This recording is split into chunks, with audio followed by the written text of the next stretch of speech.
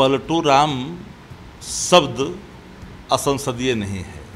और पलटू राम पर सदस्यता किसी की जाए तो देश का तो पहला होगा। किसी को बर्बाद कर देना है।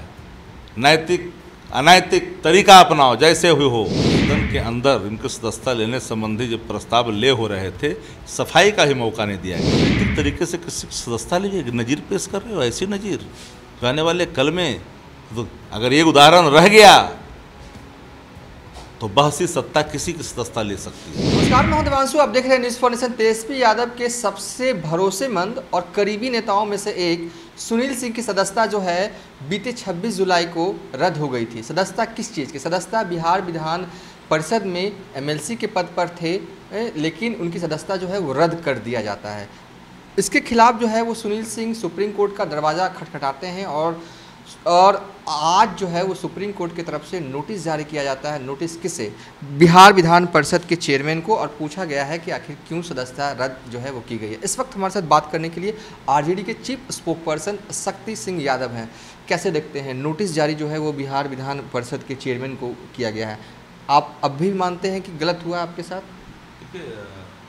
बिहार विधान परिषद के सदस्य रहे सुनील सिंह जी की सदस्यता अनैतिक तरीके से ली गई है। सत्ता का रौब दिखा करके, बलात्, अनैतिक, अन, इनलीगल तरीके से उनकी सत्ता समाप्त की गई है।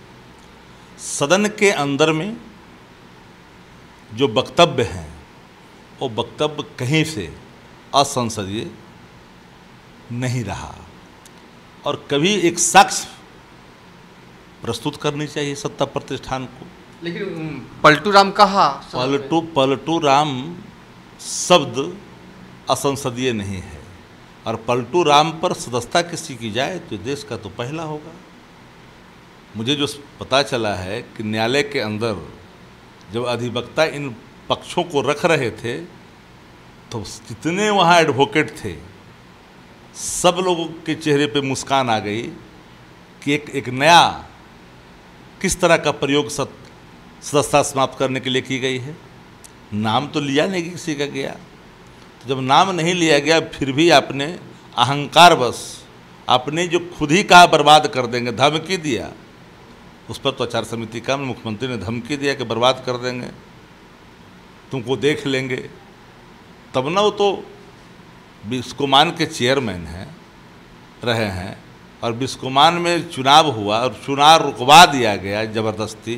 प्रक्रिया को रोकवा दिया गया और वहाँ प्रशासक बहाल करवाया गया राताराती। कि सुनील सिंह को बर्बाद कर देना है। नैतिक अनैतिक तरीका अपनाओ जैसे हुए हो। ऐसा क्या हो गया आप लोग कह रहे हैं सुनील सिंह को बर्बाद करने के ऐसा क्या हो गया सुनील सिंह के साथ में? उनको बर्बाद ये करिए मैं नहीं बोल रहा। हाँ। ये तो आप वीडियो फुटेज निकालिए विधानसभा का कि मुख्यमंत्री जी ने कहा है कि नहीं। तो बाहर हंस के भी पॉलिटिको में बोले थे ये सब तो हो चलता है। अच्छा बोले थे उन्होंने? और बोला और उसका उन्होंने दिखाया। तो सामने आ गया ना, प्रत्यक्ष किम प्रमाणम? तो इनकी सदस्यता जिस रूप में ली गई है, एक भी साक्ष्य, एक भी प्रमाण, सबसे बड़ा बात कि जब सदन के अंदर इनकी सदस्यता लेने संबंधी जब प्रस्ताव ले हो रहे थे, सफ़ाई का ही मौका नहीं दिया गया। सफ़ाई का मौका तक नहीं दिया गया। प्रोसीडिंग इस बात के गवाह हैं। कोई भी जो कानून का रखवाला होगा, उसकी अंतरात्मा जाग जाएगी कि ये तो अन्याय है। और अन्याय को सहन करना न्याय के खिलाफ न्याय नहीं देना वह भी अन्याय है। नोटिस हुआ है बिहार विधान परिषद के सभापति को त्वरित नोटिस हुआ है। तुरंत जवाब देने के लिए कहा गया है कोई सम उसका ये नहीं 24 घंटे के अंदर में जवाब देने के लिए कहा गया है। जवाब देना होगा फिर न्यायालय इन चीज़ों को देखेगी। उम्मीद है कि शायद जो है जो रद्द किया गया है वो वापस हो सकता है? वापस तो करना ही पड़ेगा। आप अनैतिक तरीके से किसी की सदस्यता लीजिए नज़ीर पेश कर रहे हो ऐसी नज़ीर। जो आने वाले कल में तो अगर एक उदाहरण रह गया तो बहसी सत्ता किसी की सदस्यता ले सकती है। बहसी कह रहे हैं ये मतलब ये बहसी सत्ता किसी को सदस्यता ले सकती है। और सुनील जी सुनील सिंह की सदस्यता इसी तरह बदले की भावना से पोलिटिकल बैंडेटा का प्रतिफल है। आप भी कई दफ़ा कहते रहे हैं 2020 के बाद कि तेरह वोटों से आप हारे थे कि आपको साजिशन हराया गया था।